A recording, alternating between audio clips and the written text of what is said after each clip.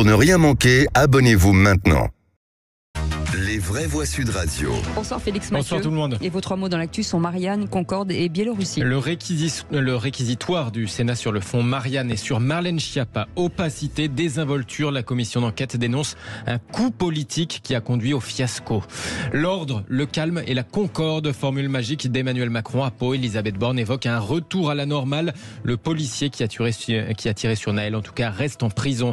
Et puis cette question, mais où se trouve donc Prigogine, le patron du groupe Wagner Il était censé s'exiler en Biélorussie. Or, selon le président biélorusse, il se promènerait en Russie. Les vraies voix Sud Radio. 2,5 millions pour un grand coup de communication, ça fait un peu cher. La commission d'enquête sénatoriale n'est pas tendre dans ses conclusions sur le fonds Marianne. Son rapporteur, le sénateur LR Jean-François Husson, les présentait tout à l'heure. À cet instant, je n'irai pas par quatre chemins. En lisant le rapport, vous constaterez qu'à toutes les étapes de ce projet, le manque de rigueur, l'opacité et, je le dis, la désinvolture ont conduit au fiasco. Ce constat que je fais devant vous ne doit pas et ne nous conduit pas à jeter l'opprobre sur la politique publique de lutte contre le séparatisme et la promotion des valeurs républicaines sur les réseaux sociaux. Il s'agit, je le crois, d'un combat essentiel et Le fonds Marianne lancé en 2021 pour défendre les valeurs de la République après l'assassinat du professeur Paty. Mais Jean-François Husson décrit une coquille vide organisée à la va-vite.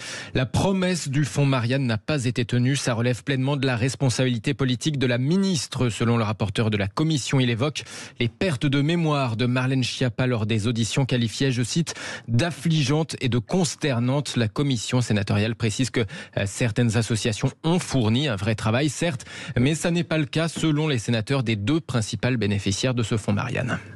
Et puis on continue euh, avec vous le deuxième mot, euh, Félix Mathieu. Concorde, Emmanuel Macron était à Pau cet après-midi. L'occasion de rendre visite à son allié François Bayrou ainsi qu'aux élus, aux habitants du Béarn. L'occasion aussi de tourner la page des émeutes avec une devise en forme de triptyque. Nous avons tous vécu un moment important dans la vie de la nation, donc on va continuer de travailler. D'abord, la première réponse, c'est l'ordre, le calme, c'est euh, la concorde, et ensuite, c'est de travailler sur les causes profondes de ce qui est advenu. Ordre, calme et concorde. Emmanuel Macron ici au micro de nos confrères de BFM TV. Pendant ce temps, euh, sa première ministre visitait dans le Calvados un quartier de Lisieux touché par les violences urbaines. Euh, Retour à la normale, mais prudence tout de même pour Elisabeth Borne. Les autorités restent sur le qui-vive, notamment pour le 14 juillet.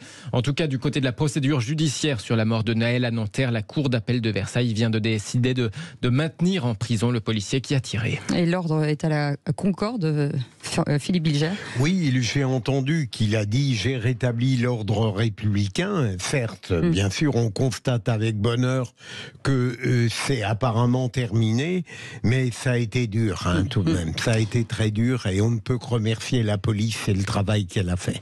Euh, très vite, Françoise. euh, Oui, oui, euh, il va se féliciter euh, des choses. Je veux pas ce qu'il va dire le 14 juillet. Moi, je veux bien qu'on décrète qu'on est sorti de tous les drames et que le 14 juillet, la France est apaisée. Regardez par où on est passé avant d'arriver à l'apaisement. Il n'y a aucun apaisement. Voilà. Tout ça est lissé, placé sous le tapis. Euh, 14 juillet, attention, hein, soyons On vigilants. verra. euh, euh, Sébastien Ménard, peut-être un petit mot avant de. Moi, j'ai envie de retenir le mot concorde, en fait. Ok. Voilà. Troisième mot, Biélorussie, c'est le pays où était censé se trouver le sulfureux patron du groupe euh, Wagner. Censé, oui, après sa tentative avortée de se retourner contre l'armée russe, en exil en Biélorussie, nous disait-on, sauf que, sauf qu'il se trouverait sur le sol russe et en toute liberté. En tout cas, c'est une personne bien renseignée, alliée de Poutine, qui l'affirme, le président biélorusse Alexandre Loukachenko.